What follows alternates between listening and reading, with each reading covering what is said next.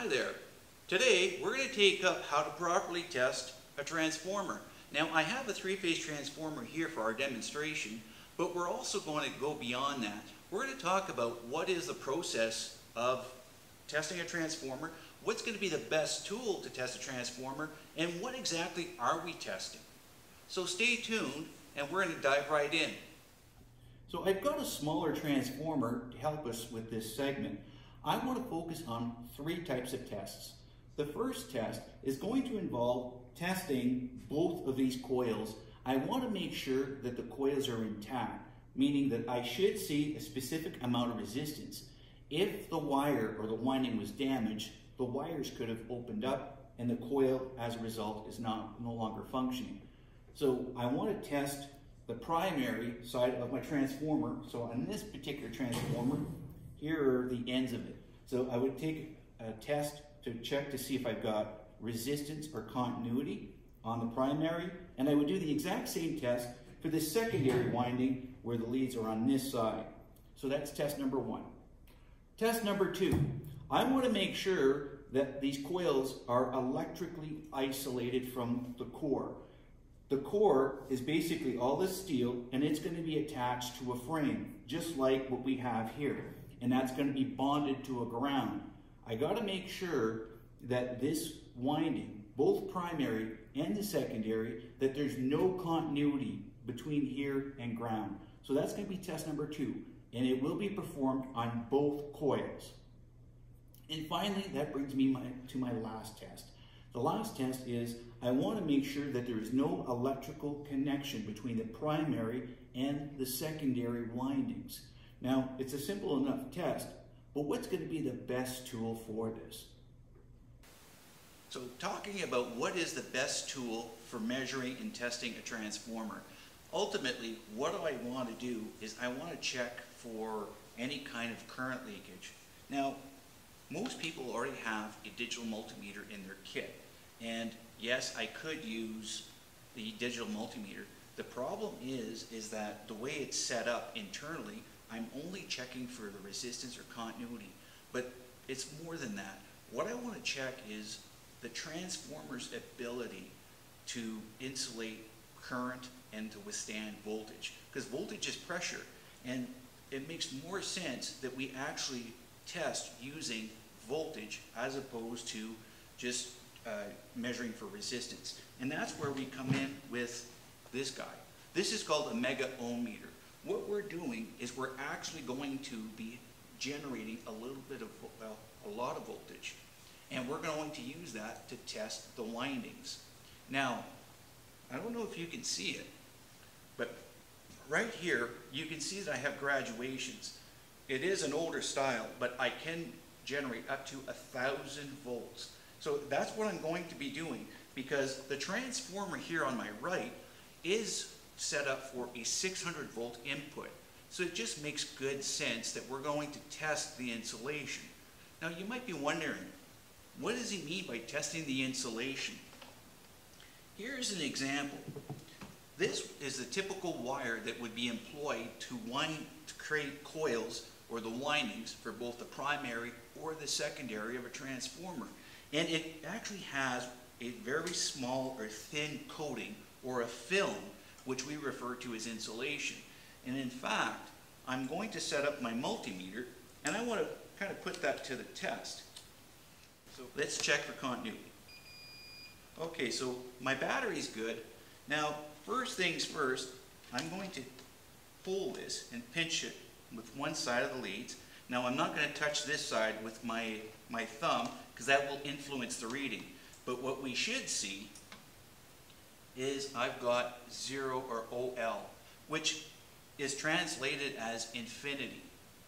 What's, why am I getting infinity? It's because of the fact that I'm touching the side of the conductor wire, which is insulated.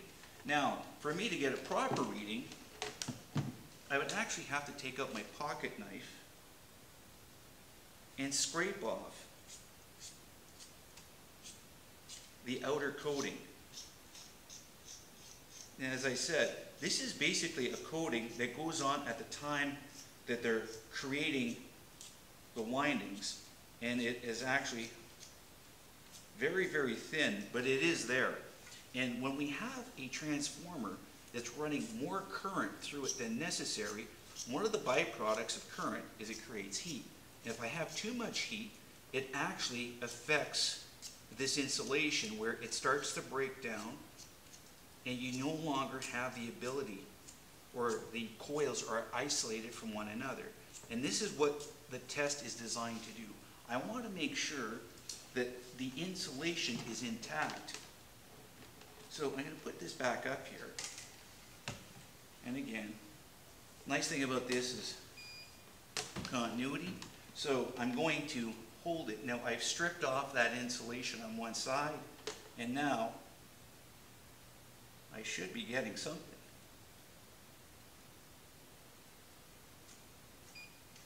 Oh, wait.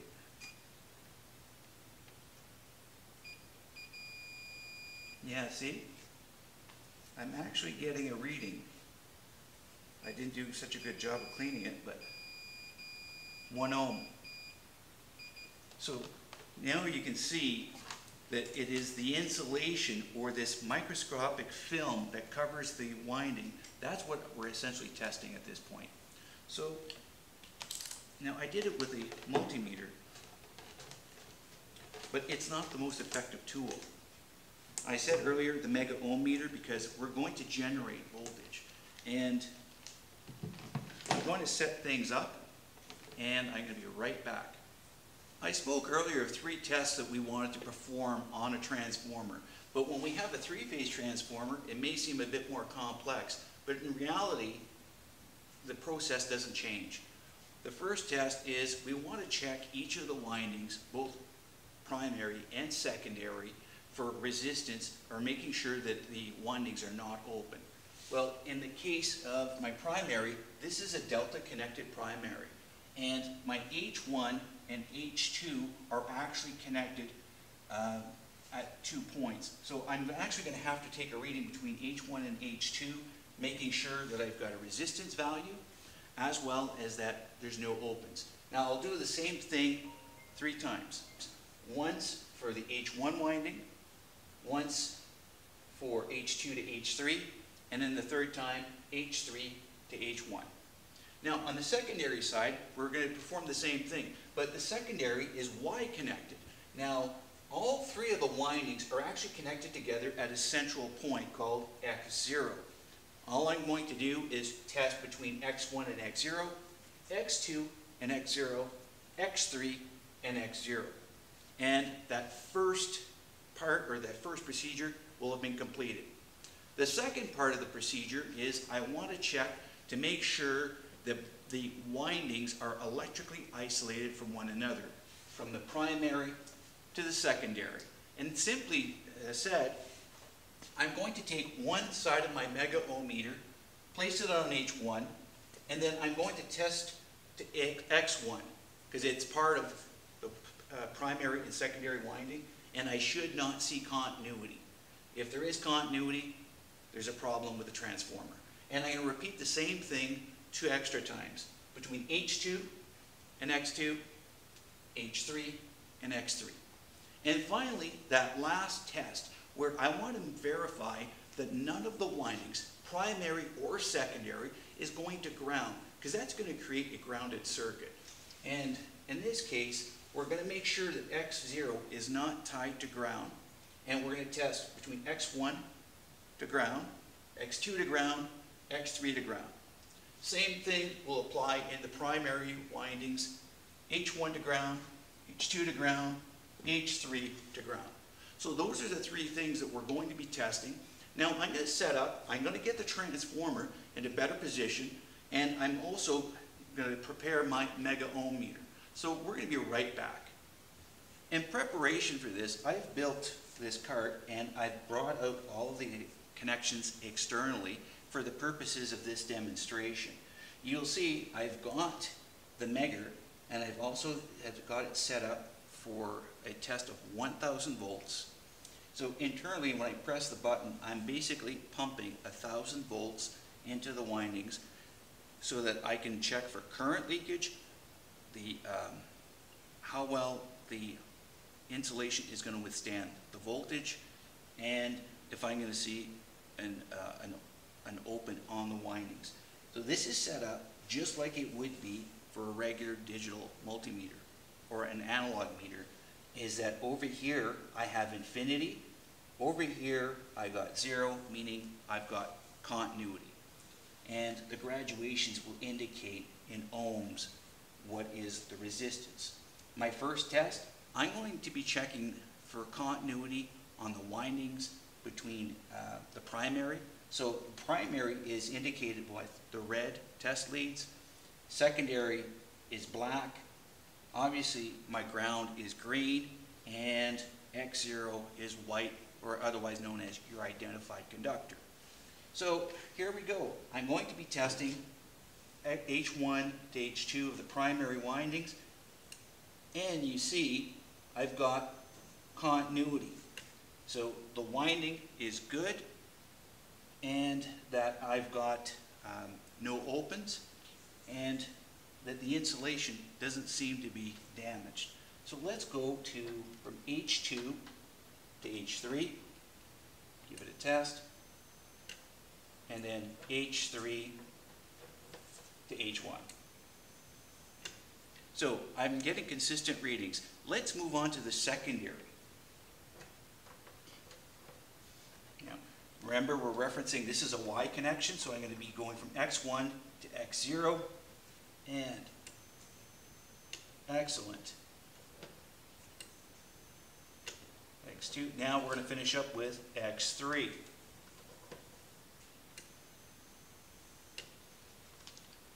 So things look good. So that's the first step, done and out of the way. Now, I want to make sure that there's no continuity that exists between the primary to secondary. So we're going to switch this over to H1 and then reading to X1. And here, again, I should see infinity.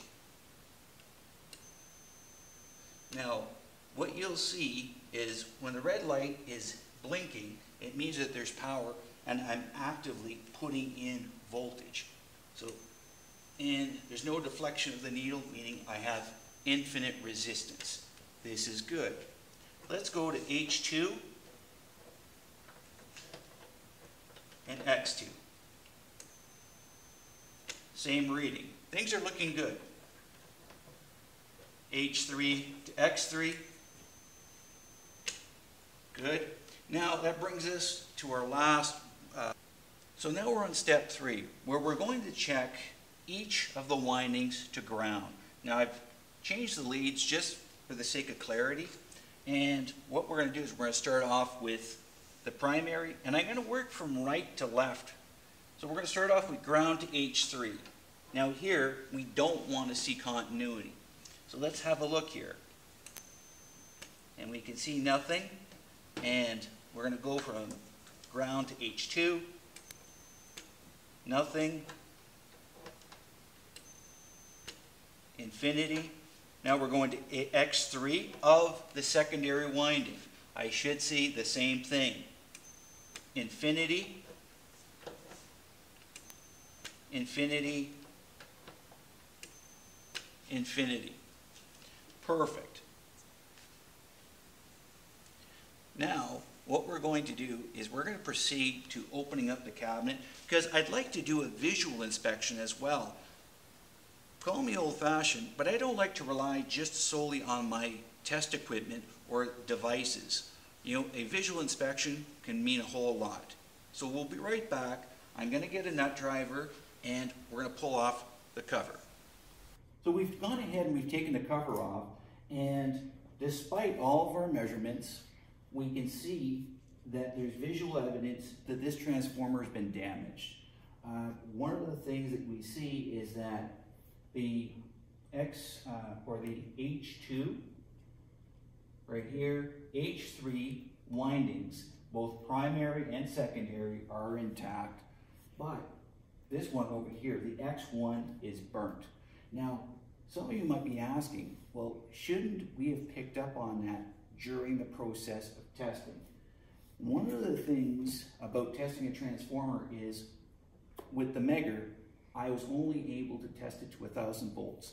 There are Meggers out there that we can test to a higher value, such as 5,000 volts.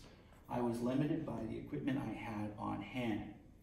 As well, what I really like about this though, is that what you can see is that the insulation has been uh, damaged. But what happened is when the transformer um, got damaged, it blew circuit breakers and fuses. But what happened is once it cooled down, the insulation get kind of liquefied. It basically reformed itself on the windings. And right now, due to the fact I'm limited by the equipment I have, I wasn't able to pick up on it, and one of the reasons why I'll do a visual inspection. But there's quite a bit here to help us with learning about a three-phase transformer. Well, that concludes this episode of how to test a three-phase transformer. If you enjoy these videos, please hit like and subscribe, and until next time, please stay safe.